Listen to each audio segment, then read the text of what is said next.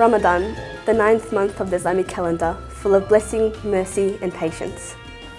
The month of Ramadan is the month where Allah subhanahu wa ta'ala has prescribed fasting upon the Muslims so they may become more God conscious and they may return and become closer to God once again.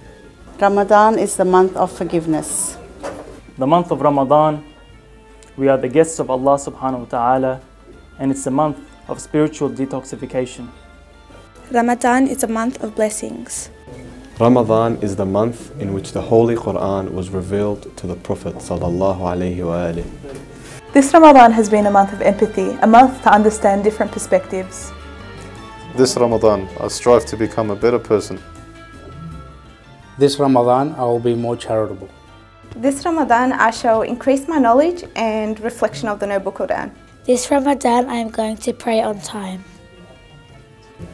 This Ramadan, I will ponder, reflect, and be more humble. This Ramadan, I'll be getting active within the community.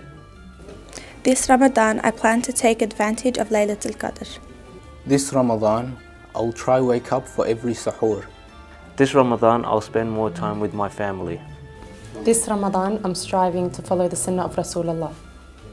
This Ramadan, I am going to read more Quran and be more respectful to my elders. This Ramadan, I will focus on improving not only my physical health but also my spiritual health. This Ramadan, inshallah, I would like to increase my relationship with the Holy Quran.